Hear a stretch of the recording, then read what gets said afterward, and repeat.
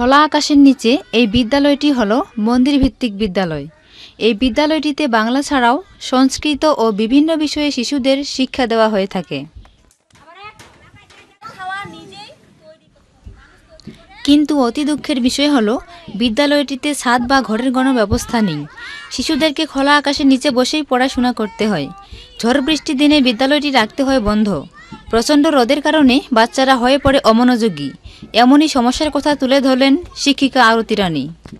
খোলা আকাশের নিচে কীভাবে বাচ্চাদেরকে পড়াবো বৃষ্টির দিনে? এই জন্য আমার স্কুল বন্ধ থাকে আর রোদের সময় যখন বাচ্চাদেরকে ক্লাস করায় তখন বাচ্চারা আর রোদের মধ্যে থাকতে চায় না। সরকার যদি আমাকে ঘরের ব্যবস্থা করে দিত, তাহলে আমি আমার বাচ্চাদেরকে ভালোভাবে শিক্ষা দিতে পারতাম এবং এবং ভবিষ্যতের জন্য খুবই ভালো হতো।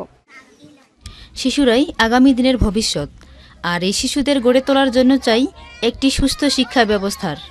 সরকার যদি একটি ঘরের ব্যবস্থা করে দেন, তাহলেই শিশুদের ভালোভাবে শিক্ষা দিতে পারবেন বলে মনে করেন স্কুল শিক্ষিকা।